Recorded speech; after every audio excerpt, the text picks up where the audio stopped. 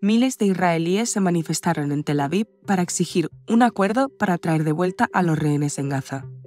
Esta no es la primera vez que los manifestantes expresan su frustración ante la inacción del gobierno, culpándolo por no haber hecho lo suficiente para salvar a sus seres queridos.